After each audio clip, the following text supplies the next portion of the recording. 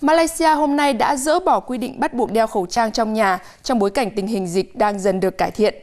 Việc đeo khẩu trang sẽ chỉ bắt buộc trên các phương tiện giao thông công cộng như xe buýt, tàu hỏa, taxi đưa đón sân bay, xe dịch vụ, cũng như tại các bệnh viện và cơ sở y tế.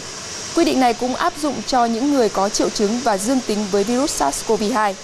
Tuy nhiên, giới chức Malaysia cho biết các chủ cơ sở lưu trú được phép áp đặt quy định sử dụng khẩu trang đối với khách đến, đồng thời khuyến khích người dân đeo khẩu trang tại các khu vực đông đúc như chợ đêm, sân vận động, trung tâm mua sắm, các cơ sở tôn giáo.